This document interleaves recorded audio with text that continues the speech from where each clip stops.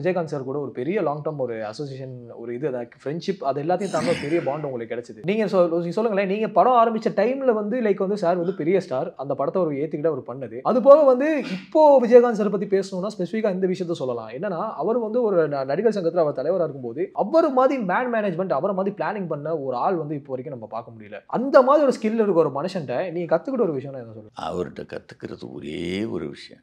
Honesty அவர் மாதிரி ஒரு நல்லவர் நான் சினிமாவில் பார்த்ததும் கிடையாது இனிமேல் பார்க்க போகிறதும் கிடையாது. இது நான் உறுதியாக எங்கே வேணாலும் சொல்லுவேன். அதே மாதிரி அவர் கட்சியிலேருந்து நான் வெளியே வரும்போது அவர்கிட்ட சொல்லி வந்த ஒரே ஆள் நான் தான். அது காரணம் சொல்லி வந்த ஒரே ஆள் நான் தான். அது காலத்து கட்டாயம். அது விட்டுருங்க.